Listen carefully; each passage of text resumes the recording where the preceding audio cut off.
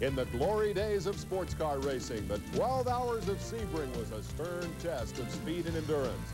Let's relive the 1968 running of an American road racing classic. It's the 12 hours of Sebring next on the Glory Days.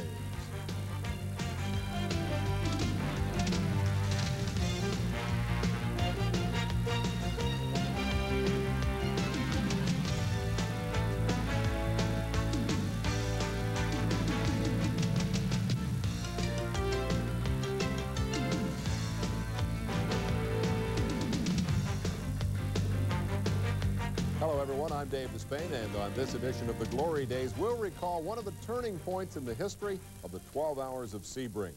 For 1968, the international governing body had outlawed the big engine prototypes, the very cars that helped make the 12 Hours famous. And so the Sebring organizers added something new, something called Trans Am sedans, street machines ready to tackle one of the sternest tests in world road racing. Roger Penske knew his Camaros would need endurance racing modifications like quick change disc brakes to beat the rival Ford Mustangs. Your telecast hosts Chris Economaki and Phil Hill open with a discussion of the driving challenge at Sebring.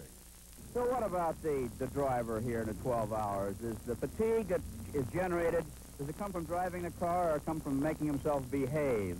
Well, it works sort of both ways. There is really a definite factor of uh, fatigue in regulating oneself to the limits that one has to have uh, for the car uh, on a long-distance race. Uh, don't brake too hard, uh, don't over-rev the engine and all that sort of thing. And if you set certain strong limits for yourself and then really stick to them, it's tiring in itself. And Phil, there's 70 cars on the entry. Yes, Chris, and here are the factory Porsches. One set the fastest qualifying time this weekend. These very reliable cars have 2.2-liter engines this year, and they're getting almost 230 horsepower out of them.